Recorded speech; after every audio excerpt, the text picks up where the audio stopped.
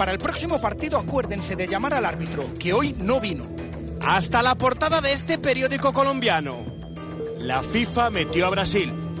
Con palabras más suaves pero igual de duros se mostró Maradona con ese arbitraje de Velasco que tanto gustó a la FIFA. El árbitro fue lo más desastroso que vi en los últimos 10 años. Me entero de que la FIFA lo felicitó al árbitro porque tuvo una gran actuación. Ahora, yo digo, ¿qué, qué, bien, ¿qué partido vieron? ¿O fueron a ver béisbol o fueron a los toros? Porque no fueron al partido de hoy.